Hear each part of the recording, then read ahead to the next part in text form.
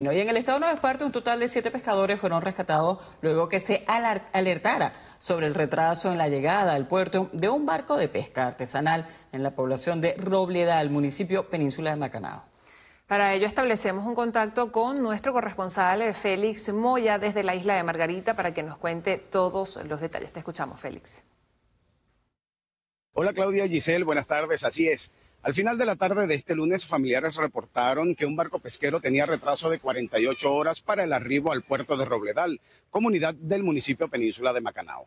Durante las labores emprendidas por los trabajadores del mar y las autoridades, fueron localizadas dos embarcaciones y sus tripulantes. Tres de ellos presentaron quemadura, dado que se incendió el motor y los otros presentaron deshidratación.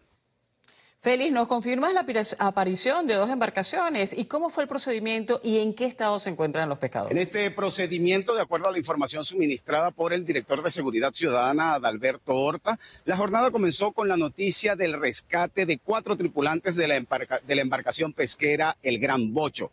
Este rescate fue fortuito, pues esta embarcación se encontraba a la deriva desde hace tres días y no había sido reportado su retraso. Sin embargo, la alegría se multiplicó aún más horas más tarde cuando se confirmó el hallazgo de los tres pescadores de El Coyote.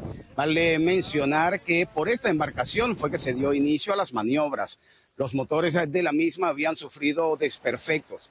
Las autoridades marítimas han destacado la importancia de mantener las embarcaciones en óptimas condiciones y además contar con los equipos de seguridad necesarios para enfrentar cualquier eventualidad en alta mar. Esta es la información que manejamos hasta el momento y con ella devolvemos el pase a los estudios en la ciudad de Caracas.